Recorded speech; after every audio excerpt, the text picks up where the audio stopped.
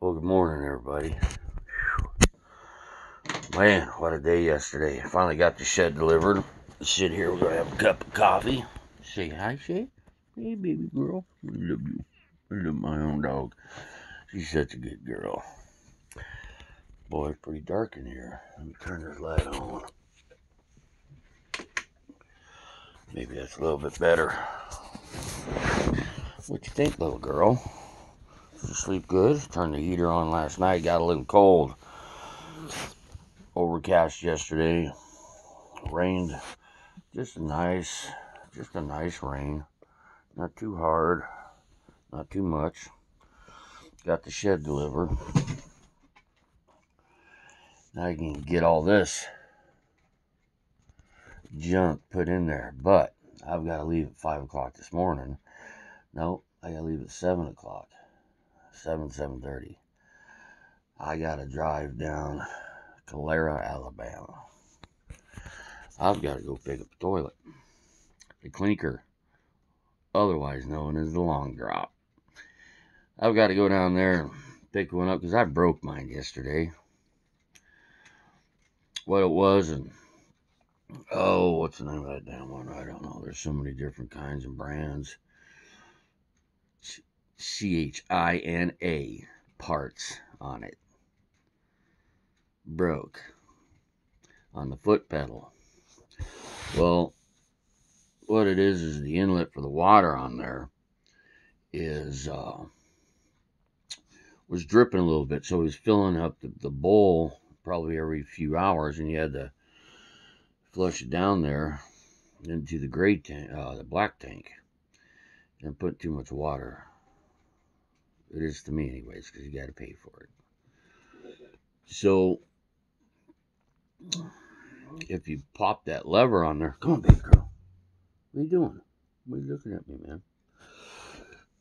I popped it with my foot, broke the plastic off on there that actuates that flood lever that goes through in the bowl and flushes the water and refills it up at the same time. On demand kind of thing. Well, it broke, and so I was like, oh my god, not that. Kind of the two most important things water, and you gotta have your long drop. The clinker. But uh, shed was delivered. It looks real nice. It's metal. That thing's sticking up two feet in the air. Not bad. 10 by 16. It's pretty good size. I like the color. It's white and black trim. I think uh, the metal building I put up is going to be like that too. What's wrong? Come on. You gotta go outside? You gotta go bathroom? I don't know what she wants. She wants something. You hungry? Want some water? Want a kick in the butt? Hound dog. Why you looking at me like that, baby girl? What's wrong? No, Mama ain't here. Mama got on a jet plane, flew out of here. I don't blame her. No. She went up to see her son up north and a baby, her grand grandchild. So we'll see how that works out. Sure, she was tired. I have to fly into Denver and then up to Portland or Seattle. I don't fly. I'm not going to relinquish any more of my rights to get whatever. It ain't happening. Guess you could say 9 11 was a big change of it. Patriot Act and all that junk. Yeah. Well, anyways, you guys take care. Not really going on. I got to get up and drive an hour and a half down, pick it up, hour and a half back. Probably 30 minutes to put it in. Then I'll start packing all that stuff in there. And you know what I got to do? I got to pin that. I've got to pin it to the ground.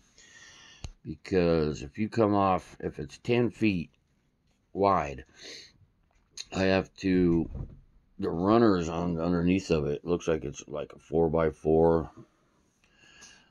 It comes in two feet on each side, and the runner goes down the center. Well, that's where they put the blocks. So I put the blocks on either end of it, and had it level. And yeah, now it's got to be on the runners. So they put them on the runners, but that leaves two feet on either side that doesn't have any support. That makes me a little nervous up here, Tornado Alley. So I'm going to, when I get back after putting the, the commode in, I'm going to get four cap blocks. Put them on each corner. I run a 4x4 down to the cap block onto the shed. Just in case. Gotta have something on there. And then I'm going to pin it to the ground. It makes me kind of nervous. I'm thinking maybe what I'll do is on the corners is I'll run a board across, cut that corner, then put the cap, then put the uh, 4x4 block on there. I think that's what I'll do.